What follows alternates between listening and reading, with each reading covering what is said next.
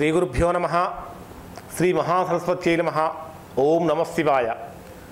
సులభమైన పరిహారాలతో సుఖమయ జీవితానికి మార్గం నారాయణ శాస్త్రి యూట్యూబ్ ఛానల్కి స్వాగతం సుస్వాగతం.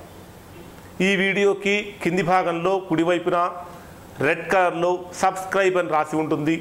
దయచేసి నారాయణ శాస్త్రి యూట్యూబ్ ఛానల్ మీరు సబ్స్క్రైబ్ చేసుకోండి. తద్వారా మేము అందించే అన్ని వీడియోలు కూడా మీకు వెంటనే చేరుతాయి. ఈరోజు హనుమ జయంతి చైత్ర పౌర్ణమి. చైత్ర పౌర్ణమి నాడు మనము హనుమ జయంతి వేడుకలను జరుపుకుంటాం. హనుమంతుడు అంటే తెలియనటువంటి వారు ఎవరూ లేదు. రామాయణములో ఉన్నటువంటి ఆరు కాండలలో చివరి మూడు కాండలు మొత్తము కూడా హనుమంతుడు చుట్టూనే కథ తిరుగుతూ ఉంటుంది. హనుమంతుడు అంజనాదేవి యొక్క కుమారుడు. అంజనాదేవి గర్భంలో జన్మించినటువంటి వాయుపుత్రుడు. ఇతను ఇతనికి అతని బలమెంతో అతనికి తెలియదు.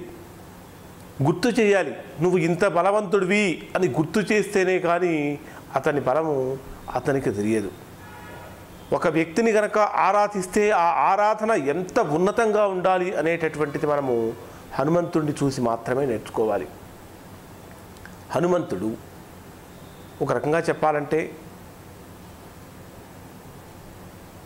సంస్కృతాది అనేక భాషలను వ్యాకరణాది అనేక శాస్త్రాలను సంగీతంతో పాటు అనేకమైనటువంటి కళలను నేర్చుకొని ఒక కల్పము అంటే దాదాపుగా నాలుగు వందల ముప్పై రెండు మిలియన్ సంవత్సరాల పాటు జీవించినటువంటి అతి కొద్ది మంది చిరంజీవులలో హనుమంతుడు ఒకటి ఈరోజు మనము హనుమ జయంతి జరుపుకుంటున్నాం అటువంటి హనుమంతుడి యొక్క జయంతి జన్మదినాన్ని మనం ఈ రోజున చైత్ర పౌర్ణమి రోజున జరుపుకుంటున్నాం. ఈరోజు ప్రతి ఒక్కరూ కూడా ఆంజనేయ స్వామి యొక్క దేవాలయానికి వెళ్ళి ఆంజనేయ స్వామి దేవాలయంలో మీకు వీలైనన్ని తమలపాకుల మీద ఓం శ్రీరామ శ్రీరామ శ్రీరామ అని రాసి ఒక పదకొండు తమలపాకులు కావచ్చు ఇరవై ఒకటి కావచ్చు మీకు శక్తి కొద్దీ ఒక్కటైనా కావచ్చు మూడైనా కావచ్చు ఐదైనా కావచ్చు. నూట ఎనిమిది ఆకులు అయితే మరీ మంచిది. తమలపాకుల మీద శ్రీరామ అని రాసి వాటిని ఒక చక్క ఒక మాలలాగా తయారు చేసి ఒక పూల మాలలాగా తయారు చేసి వాటిని ఆంజనేయ స్వామి మెడలో సమర్పించండి.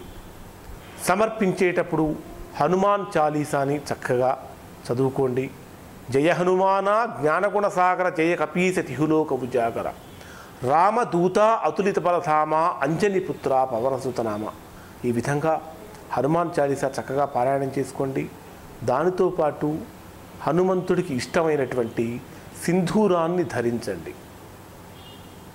మెడలో ఒక సింధూరం ఉన్నటువంటి సింధూరపు రంగులో ఉన్నటువంటి ఆంజనేయ స్వామి లాకెట్ను కూడా మెడలో ధరించండి.